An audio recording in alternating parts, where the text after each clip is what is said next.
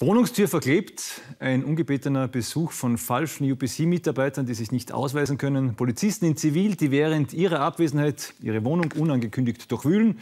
Ja, und statt der erwarteten Hilfe am Kommissariat maximal Schulterzucken. All das ist dem bekanntesten Opfer von Polizeigewalt in Österreich, Bakari J., innerhalb des letzten Jahres widerfahren. Das und noch mehr. Sören Dobritsch berichtet.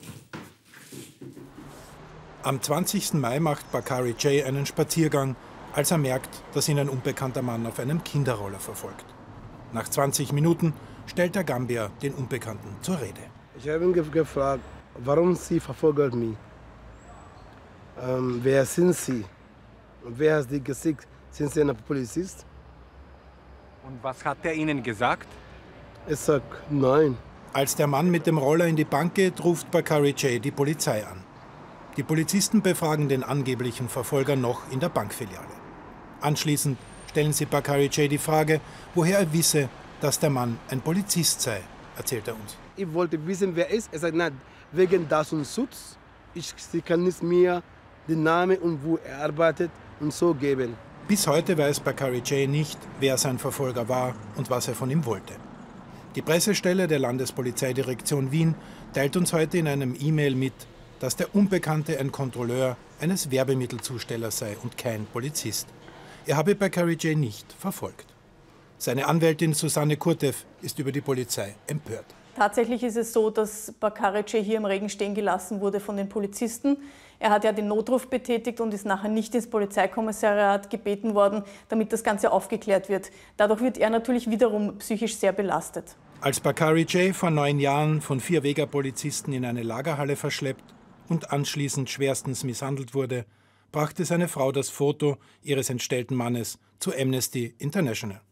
Seit damals verfolgt Heinz Batzelt die Tragödie des in Österreich lebenden Schwarzafrikaners. Bakary in der Ungewissheit zu halten, ist ausgesprochen zerstörerisch auf sein Wohlbefinden, auf seine ganz schwierige psychische Heilung. Folter braucht Therapie. Therapie braucht Sicherheit und nicht Ungewissheit von genau diesem Behördenapparat, von dem er einmal schon so katastrophal schlecht behandelt worden ist. Ja, bei mir im Studio ist dazu Themaredakteur Soran Dobritsch. Soran, du bist mit dieser Causa schon lange befasst, viele Jahre. Äh, hast dich auch mit den Exekutivbeamten unterhalten. Jetzt, was sind deine Eindrücke nach den jüngsten Vorfällen? Was ist da los im Rechtsstaat Österreich? Also wenn es nicht tragisch wäre, dann wäre es lustig. In Wirklichkeit ist es wirklich eine, eine, eine schlimme Geschichte. Ich habe am 22. April erfahren, dass vier angebliche Polizisten in Bakaris Wohnung waren, dass die Wohnung durchwühlt wurde und da habe ich angefangen zu recherchieren. Am 18. Mai habe ich die Polizei dann mit den Vorwürfen von Bakari und seinem Freund konfrontiert.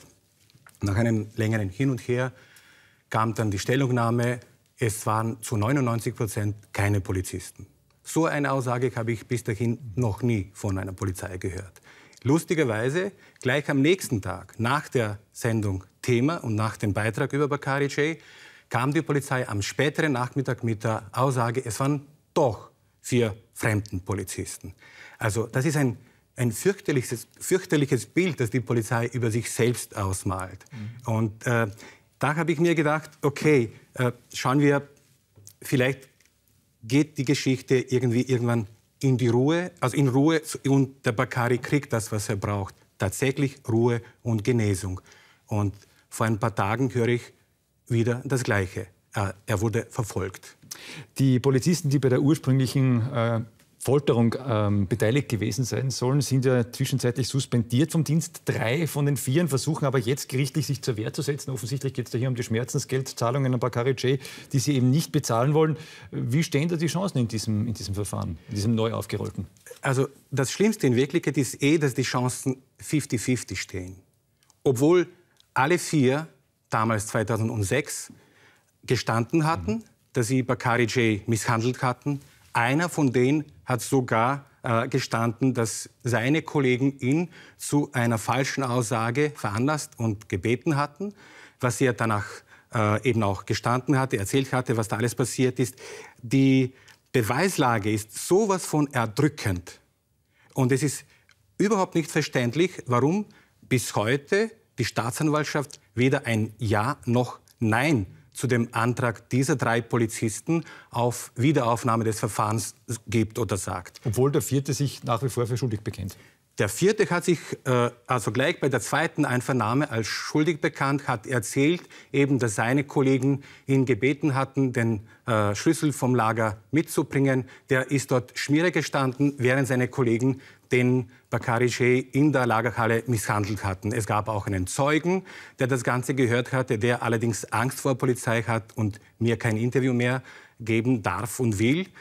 Äh, und all diese Dinge wo, wobei noch die Polizisten ganz offen sagen, wir wollen das Geld nicht zahlen. Es ist ihnen zu viel. Der Anwalt äh, verlangt derzeit, glaube ich, noch 375.000, zusätzlich einen Tausender äh, äh, Monatsrente, weil Bakari J eigentlich äh, in einem sehr, sehr schlechten Zustand ist. Da bin ich gleich bei der nächsten Frage. Was der Mann alles durchgemacht hat, ist wahrscheinlich schwer nachzuvollziehen. Wie, wie geht es ihm jetzt nach all diesen auch jüngsten Vorfällen? Also Bakari J ist ein gebrochener Mensch. Die vier Polizisten haben nicht nur seine Seele gebrochen, sie haben seinen Körper gebrochen. Er hat mehrere äh, Kopfbrüche, die übersehen wurden. Er ist als solcher dann eine Woche lang auf einem Betonboden in einer Zelle ohne Fenster, ohne irgendwas gelegen. Bakari J hat nicht nur vor diesen vier Polizisten Angst, die bis heute offensichtlich nicht kapiert haben, was sie da ihm angetan haben. Bakari J ist am Ende mit seinem Vertrauen in die Exekutive. Und ich muss gestehen, ich als Journalist und aber auch als Mitbürger, ich habe mittlerweile Angst, weil die Exekutive ist eigentlich eine der wichtigsten Säulen einer demokratischen Gesellschaft. Und wenn solche Patzer, Fehler, wie auch immer man das bezeichnen würde, regelmäßig bei so einem Opfer passieren, dann weiß ich nicht mehr. Wir werden sehen, wie dieser Fall weitergeht. Offensichtlich ist das noch lange nicht ausgestanden. Ihr von der Themaredaktion werdet auf jeden Fall dranbleiben. Soran Dobric, herzlichen Dank für den Besuch bei uns im Studio. Danke dir für die Einladung. Dank der E-Card haben wir ja die Möglichkeit, uns den